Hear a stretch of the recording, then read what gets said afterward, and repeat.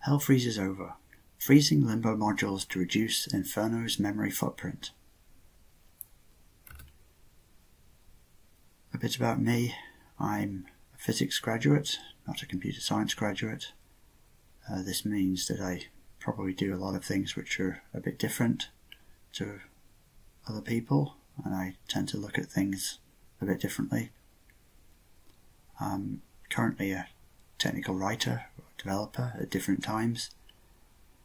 And my interest in Inferno is mostly, well, at least to start with, from his from an historical perspective. I was intrigued when I first discovered Inferno and Plan 9, and I thought it was interesting that Inferno was a, a system that was somewhat complete and self-contained, and felt that it had been a bit forgotten. And then I wanted to try using something other than Linux, which I was using at the time. And these days I'm now mostly trying to port Inferno to different devices just to see what I can do with it on those things and just out of interest really. So some context for this presentation. I'm talking mostly about small devices really. Devices with bit of flash memory, not very much RAM. So examples of these are the STM32F405, which is an ARM Cortex-M4 core device, a microcontroller, which has just 192 kilobytes of RAM and a megabyte of flash. Uh, another one which is also interesting in some ways is the RP2040, which um, has it's a different Cortex, ARM Cortex core, and has a bit more RAM. But these things are aimed at kind of different markets, I think. But one thing they both have in common is that they both use the same instruction set, which is a sort of a, could say a cut down or embedded instruction set, which is aimed at sort of denser code and I'm using the STM32 microcontroller in this sort of project. But if you're interested in running Inferno on the RP2040, then there's a port of Inferno you can take a look at. So building Inferno on an STM32 device, we can use the, an existing toolchain, um, which was written for handling thumb instructions. And this is based on, on the ARM toolchain except for the fact that the compiler is TC and the linker is TL but they both use the same assembler. And they have some options which are specific to thumb instructions but it's pretty much the same sort of thing as running the ARM compilers. And if you're interested in messing around with these tool chains I wrote a couple of articles about using them to create bare metal code for, for thumb sort of devices.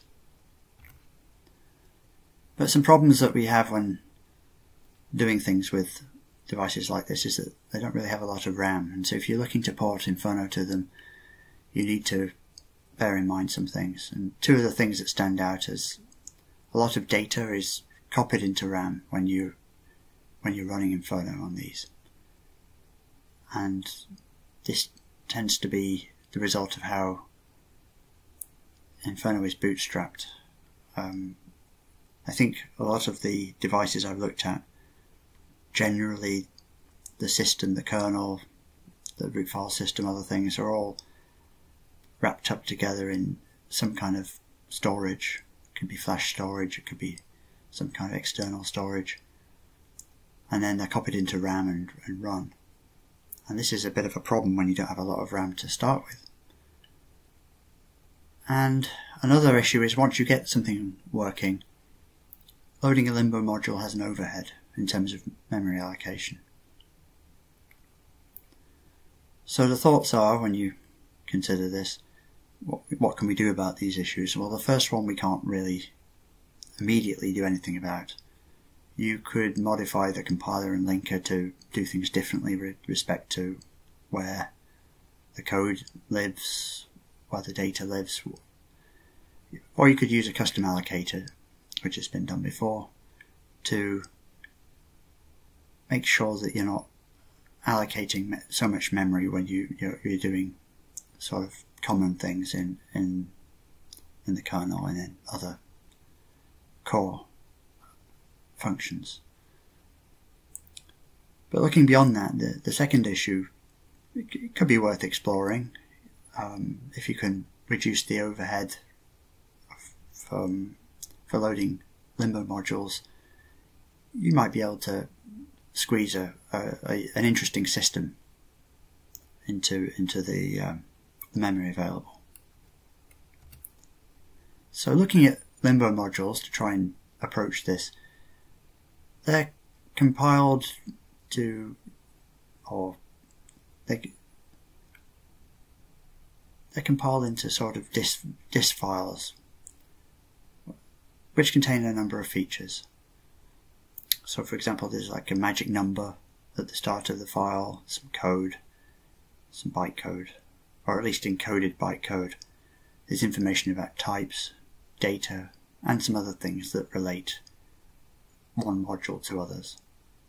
And this is described in the in the man page for the for the file format, which also goes into more details about certain things.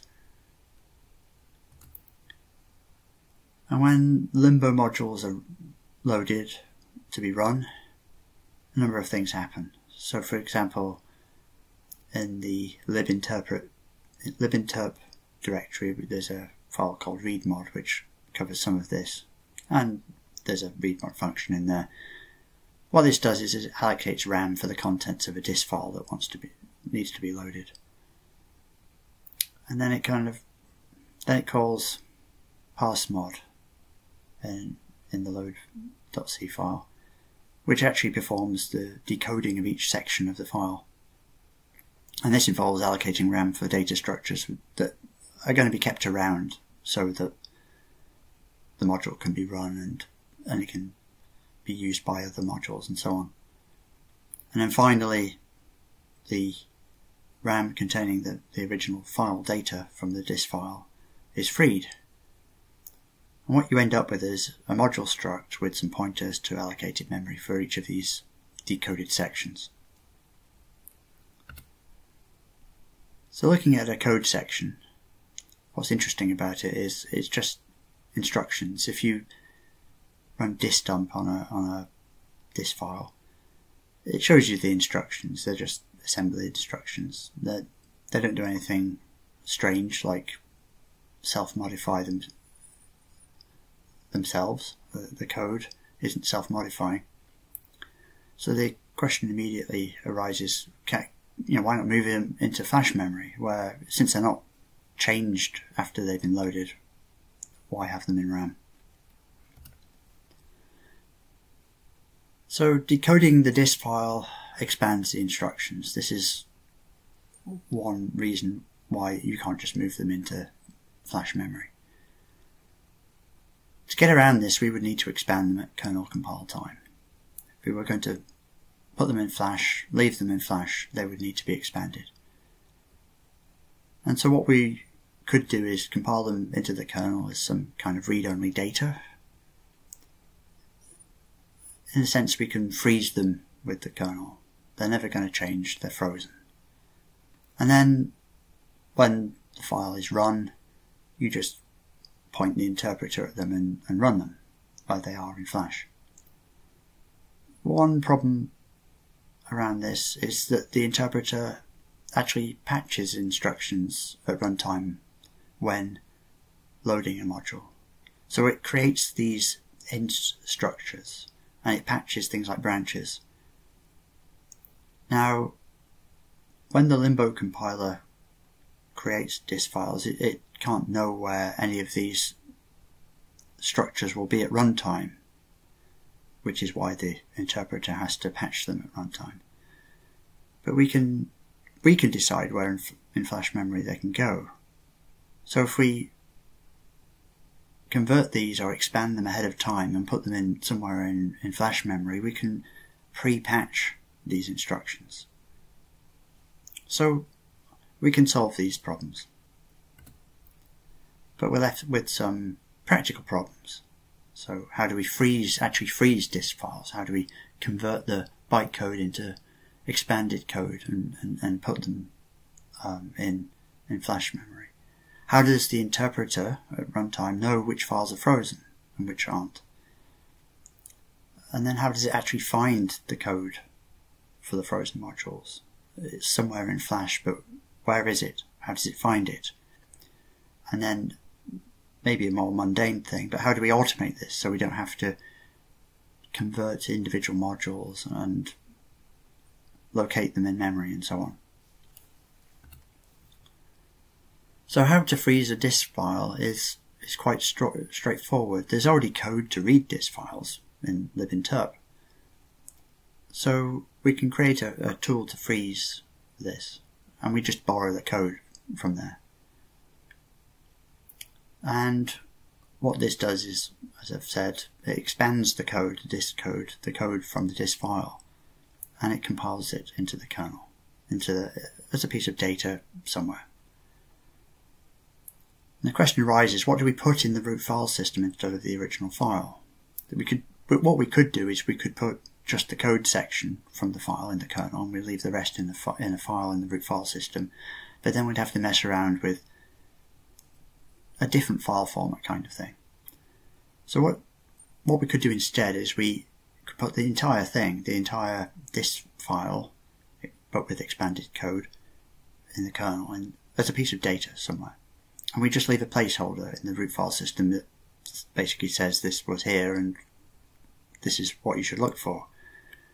And as you can see, that's what, what you do. You, you have a magic number at the start of a file and we have a, a string which says this is the file that was originally here. So which files are frozen and which are normal files? And as you've seen, we, we use a different magic number at the start of the file. And in the case of a frozen file, we use a token to identify the frozen module. So basically the loader now does something a bit different in the parsemod function. It's a normal magic number that it finds, it just runs the function as normal.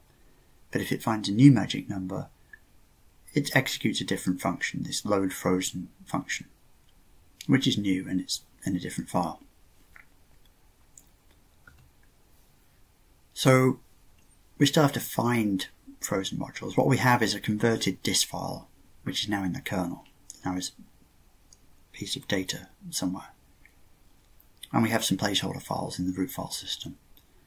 So when the interpreter loads a placeholder file, it checks for the new magic number, it reads the token, it searches a linked list of structs to find the matching token and data. Then, once it's found what it's looking for, it calls this other underscore load frozen function. And this does what parsemod normally does, except the code as we know is already unpacked somewhere and it's ready to use. So we can just point a, uh, prefer a pointer to point to it. But we still have some missing pieces here. So we need to initialize this linked list of frozen modules so that there's a way of actually tracking them down. And the way we do this is we implement this add frozen mod function to register them. And this is just an, another sort of helper function that goes in this new load frozen file. So we still need to describe all the frozen modules that we're going to include when we build a kernel and we need to register them when the kernel starts. So we can do both of these at the same time. And we do this by using a feature of the configuration file or the configuration file format where we usually have a root section for the root file system with entries that have two file names or path names. On the on the left is what the file how the file will appear in the in the root file system and on the right is what the source file was, what which file was actually used to populate the root file system.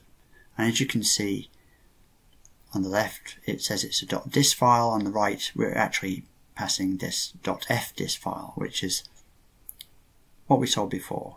It's a, a placeholder file. In the make file, we do some things. So we run a, a, a script called make frozen. And what this does is it goes through the configuration file and it finds all these .fdis entries. And it runs the freeze tool on each of the corresponding dis files. Uh, and what this does is it creates a frozen.h file with some calls in it to register modules. It has a macro which it, it adds to. And this .h file is included by this frozen.c file in its init frozen function. Also in the make file, there's a list frozen tool that gets called. And what this does is it creates a build rule for all the frozen modules. So what this means is we can scan the configuration file and we can create some kind of source file for each of the modules we want to freeze. And we're compiling a list of calls to register those at, at, at runtime. And we're also creating a build rule. So we actually compile all the frozen modules as well when we compile the rest of the kernel. So at runtime, the main function calls this init frozen function. And what that does, as I've said, is it calls add frozen mod for each frozen module. And so the interpreter ends up with a linked list of frozen modules. So when time comes to load a, a frozen module, it can load a the placeholder file, it can check the magic number, it can look up the token, and it can find the frozen module data. So to summarize this process, or look at it from a different angle, a frozen module is like a normal dis file, but it's got a different magic number, and it's got an expanded code section, and it's in flash memory somewhere. The placeholder file refers to a frozen module, using a token, which is basically just the original path, just to make sure that they're all unique. The interpreter checks for the new magic number when it's loading a dis file, uses the token to, to look up the frozen module data, and it loads it differently because although a lot of it is still the same as it was originally, the, the code doesn't need to be unpacked. It, it, it's already unpacked in flash memory, and we can just point the interpreter to it. The build system finds frozen module declarations in the configuration file. It creates frozen module data, as I've said, and it generates code to register these frozen modules at runtime. But there are problems. So the code itself is read-only, but sometimes it's assumed that it's in memory that's been allocated. So the, the first place you encounter this is the freemod function. So when a module is finished with, it would be freed, all the sections would be deallocated, and of course the code section's not allocated anymore. So that needs fixing, which is pretty straightforward. A more su surprising case, in some respects, was the devprog file system. So the first thing that happened, or the way that I encountered this was I ran ps to look at the process table and it crashed. And the reason for this is, well, it expects the, the code to be in RAM. And the way we get around this is we introduce a frozen flag in the module struct. This means we can check this in appropriate places and do the right thing. Another issue is that frozen modules are not really completely frozen all the other sections still using RAM. We, we still have type information there, we have data, even the module name is still in RAM. And it takes time to track down users of these sections. In the beginning, I planned to put them all in Flash. And then I found that that was rather over ambitious. So I scaled it back to the original core purpose of, or core idea and things kind of work. So what are the benefits of doing all this? Why go through all this hassle? Well, there is a re reduced allocation overhead.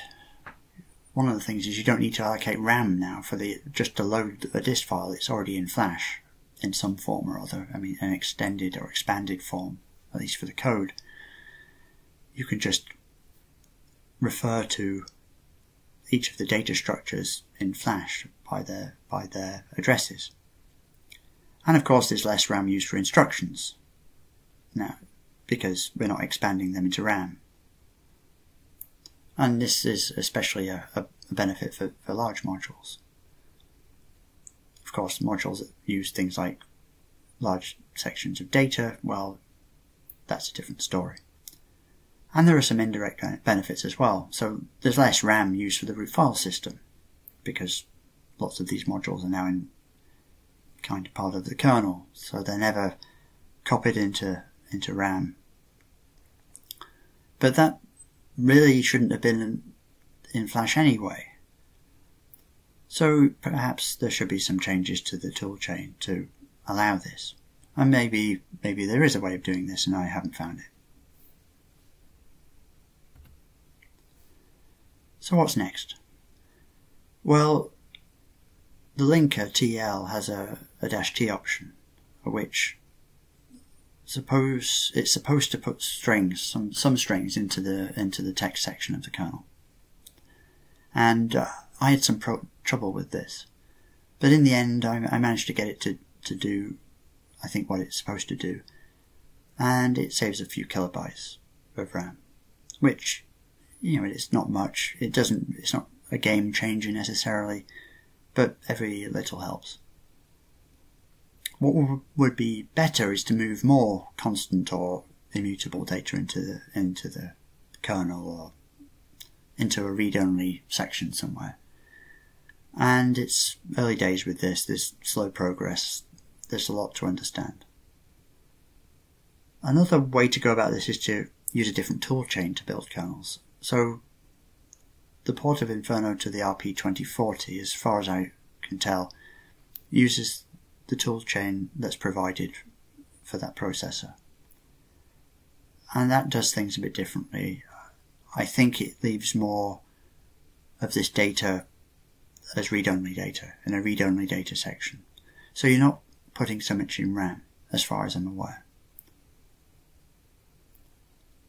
And something else which is not really about saving memory at all, it's just an, another logical step, is if we can move bytecode or expanded code into into flash memory, then perhaps we could also do the same about uh, for the code that would otherwise be generated by the JIT compiler.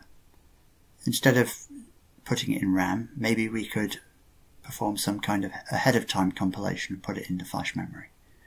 It could be expensive because we're filling up the flash memory with full instructions and although we have a megabyte of flash memory in, in this case, it, it does run out quite quickly if you're not careful. I haven't really looked into how feasible this is.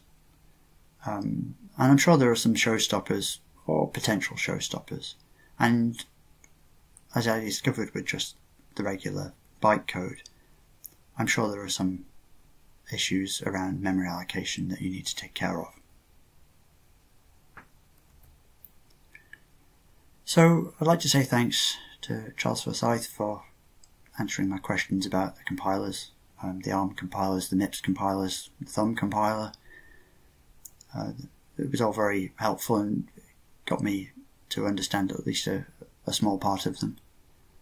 Also to Michael Engel for his discussions about microcontrollers, which ones were kind of interesting to use or think about using um, when thinking about ports of Inferno. And also to the people on the Inferno OS and 9fans mailing lists and other forums for discussions around things and general support. And I'll refer you to, to some resources. Um, there's my repository where I'm working on this particular project. And I also maintain a diary, which I update occasionally to note something that some things that might be interesting or some things that I've done um, either with Inferno or adjacent to it. And the point about writing that is to keep me motivated. So, thank you very much for listening.